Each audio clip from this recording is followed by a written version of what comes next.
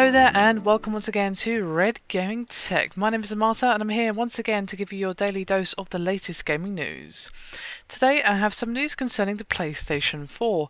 Uh, Sony has revealed today a number of tidbits surrounding the new console, primarily that its party chat functions will be free to use, which will of course mean that you will not need a PlayStation Plus subscription in order to take advantage of that feature.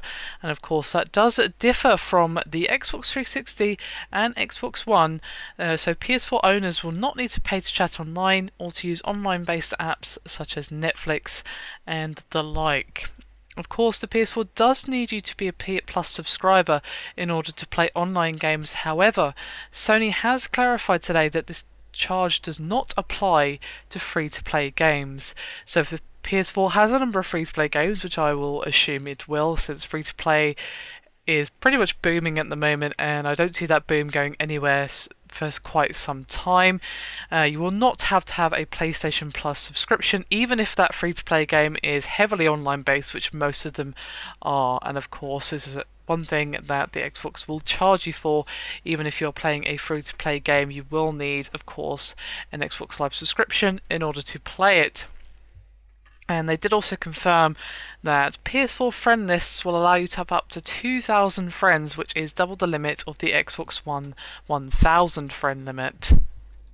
And they did also touch on a little bit concerning the new DualShock controllers, as a lot of people were wondering whether or not you would be able to use the older DualShock 3 controller with the PlayStation 4, and the answer to that sadly was no, you cannot use the DualShock 3 with the console. However, they did say that if you're the owner of a PlayStation Move, that will be perfectly compatible with the console, which is a fairly nice little deal. I mean, some people might not get on well with the DualShock 4 controller, but unfortunately, the DualShock 3 just won't be compatible with the new console. So, some fairly nice tidbits revealed about the PlayStation 4. There were some more other bits revealed, such as some PlayStation Network details, such as will you be able to keep your current PSN ID? And the answer to that was yes. But if you want to watch the full video, I will put a link in the description so you can give it a watch. But I think I've covered most of the important information here in this video. I think the one that most people wanted to know about was the um, free to play where you have to pay for that, and the party chat function, as well as the DualShock 3 as well. Those seem to be the most um, pressing questions concerning the PS4.